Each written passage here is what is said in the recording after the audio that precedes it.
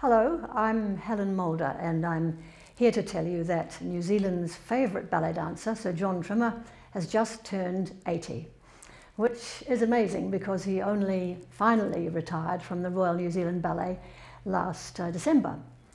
So uh, a few of us thought it would be fantastic to help him celebrate his birthday by bringing back the lovely play which he and I do together, Meeting Karpovsky.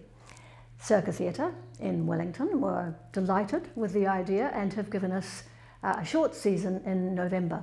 Meeting Karpovsky is a play in which Jon and I combine our acting and uh, dancing skills in a funny and very touching story. It has a lot of beautiful music, as you can imagine, and uh, it's a real privilege for me because I get to be on stage and dance with Sir Jon Trimmer. Um, I have to pinch myself sometimes. To remount the show, we need to refresh the props and costumes and bring our wonderful director, Sue Ryder, over from Australia to uh, rehearse with us.